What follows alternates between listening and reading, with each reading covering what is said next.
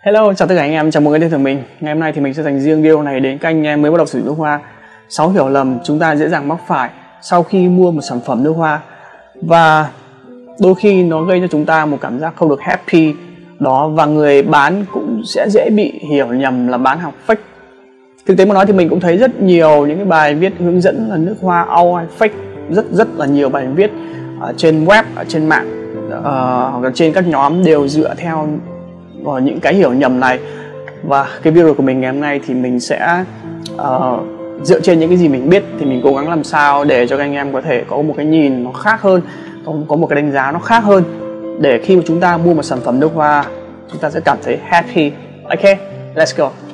Hiểu lầm đầu tiên đó là số batch. 99% các cô bà báo phân biệt nước hoa Our Effect đều hướng dẫn mọi người nên check số batch sau khi mua sản phẩm đối với người bán thì cho rằng đây là một phương pháp khá là xàm là không cần thiết. Vậy cái nào là đúng cái nào là sai? Thì trước tiên chúng ta cần phải tìm hiểu số batch là cái gì. Số batch này là một uh, dãy các số ký tự mà các nhà sản xuất đánh dấu từ lúc uh, từ lúc nhập phụ liệu này mua mua phụ liệu về để sản xuất này. Đặt chai đặt lọ uh, điều chế mùi hương để mà sau khi ra thị trường họ sẽ có họ sẽ theo cái số batch này để quản lý chất lượng. Ví dụ như ở đây là cái hộp uh, số batch của chai Encranoid Sport đây mình giới thiệu cho các anh em. Đấy. Đấy đây là số bát của nó này. Đó. Và thông thường thì mọi người thường hay check trên hai trang là checkfresh.com và checkcomistic.com có một cái câu hỏi đặt ra là những cái thông tin những cái data ở trên hai trang web này có chuẩn hay không có chính xác hay không?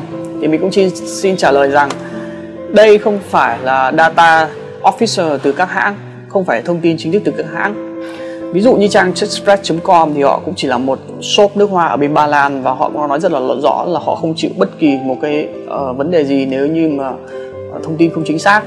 Còn check checkcomistic.com thì mình không biết là nguồn gốc ở đâu.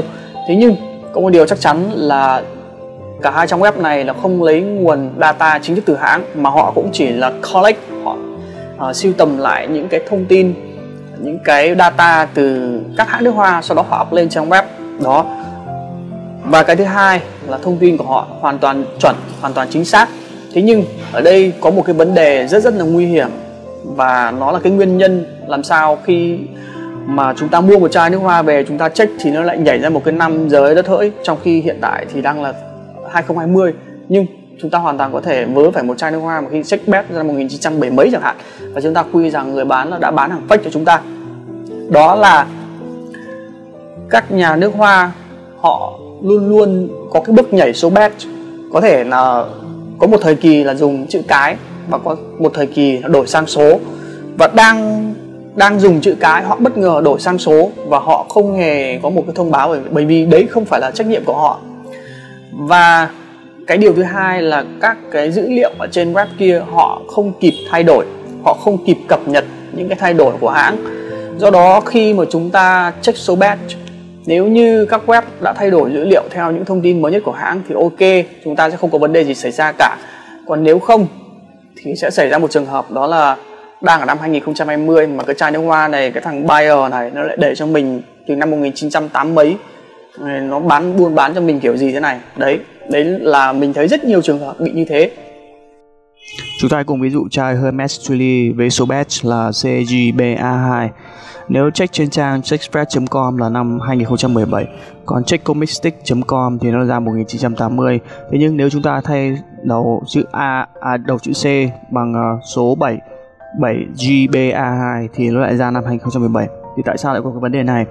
Bởi vì từ năm 78 cho đến năm 99 đó thì nhà Hermes dùng chữ cái là hiển thị cho năm sản xuất là 578 là A 579 là B và năm 1980 là C, cho đến năm 1999 đó.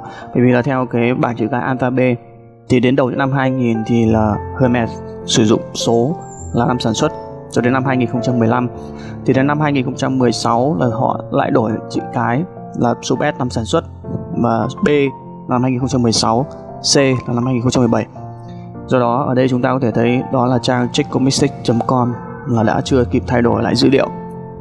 Đấy là cái rất rất là dở của cái việc check batch. Nếu như chúng ta không nắm được đầy đủ các thông tin không nắm được một chút những kiến thức cơ bản về cái bước nhảy số batch của các hãng. Do đó khi mà các anh em mới mua nước hoa về mà check số batch theo như đúng kim chỉ nam hướng dẫn mà chúng ta bị nhảy ra một cái số năm đỡ đất hỡi nào thì chúng, chúng ta nên bình tĩnh uh, cố gắng làm sao liên hệ với những người có những kiến thức nước hoa uh, phong phú thì họ sẽ giúp cho chúng, họ sẽ có những cái lời giải thích cho chúng ta về cái cách check số bet này. Còn thì nên bình tĩnh nếu như gặp vấn đề này. Ok, đấy là cái hiểu nhầm đầu tiên. Nhầm thứ hai, đó là nước hoa có cồn. Thông thường thì mình thấy là các bạn mới chơi hoặc là kể cả một số anh em đã có một cái khoảng thời gian dùng rồi nhưng cũng vẫn đôi khi vẫn mắc một cái lỗi khá là sơ đẳng. Đó là sau khi một xịt xong chẳng hạn phát này, là chúng ta ngửi mùi luôn. Đấy là một cái lỗi khá là sơ đẳng bởi vì trong nước hoa họ sử dụng cồn ethanol. Vậy cái cồn này để mục đích làm cái gì? À, điều đầu tiên đó là cái tinh dầu ở, ở thể đậm đặc đấy. Nếu mà chúng ta chấm lên da nó sẽ gây những cái tổn thương cho da. Bản thân các perfumer khi mà họ pha tinh dầu họ cũng rất rất là tránh tinh dầu bị bám lên da bởi vì nó sẽ gây những cái gọi là tổn thương cho da. Cho nên bản thân họ họ cũng hết sức là tránh. Do đó người ta cần dùng cồn để mà pha loãng cái độ đậm đặc của tinh dầu ra. Và cái thứ hai uh, cồn nó giống như kiểu một cái liều doping ấy. Phát này này. Để mà có thể giúp khuếch tán cái lượng tinh dầu để cho chúng ta có thể cảm nhận được cái mùi hương. Còn nếu không thì cái độ tỏa mùi nó hơi hơi kém. Do đó cồn ethanol nó đóng một cái vai trò là như thế. Một là để uh, giảm bớt cái độ đậm đặc của tinh dầu và cái thứ hai là độ khuếch tán mùi ra. Thì khi mà chúng ta xịt không bao giờ được phép là ngửi luôn. Chúng ta ví dụ như ở đây nhá mình xịt cho các anh em này. Đó thì chúng ta nên như thế này.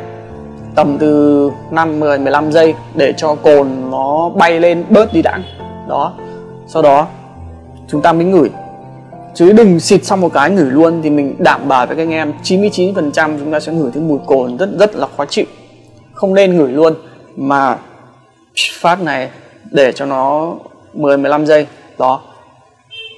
Sau đó chúng ta ngửi và enjoy mùi hương thế thôi.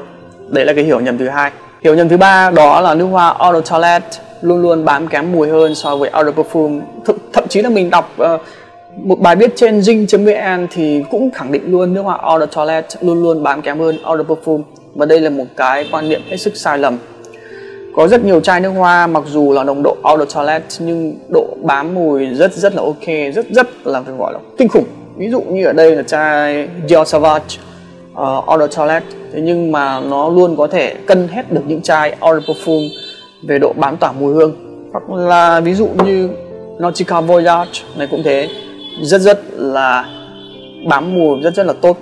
À, mình thấy đa phần các anh em khi sử dụng chai nước hoa này đều rất là khen về độ bám mùi do đó Eau de Toilette không phải lúc nào cũng là kém bám kém hơn so với Eau de Perfume, mà nó tùy tùy, nó tùy từng sản phẩm, nó tùy từng mùi hương. Có những mùi hương thì đúng là như thế, nhưng cũng có những mùi hương thì không phải là như thế. Cho nên khi mà chúng ta đọc những bài viết phân biệt về nước hoa All Effect mà chúng ta thấy nói rằng là nước hoa Eau de Toilette bám kém mùi hương hơn so với Eau de Perfume, thì đấy là một quan niệm hết sức sai lầm. Đó, hiểu lầm thứ ba.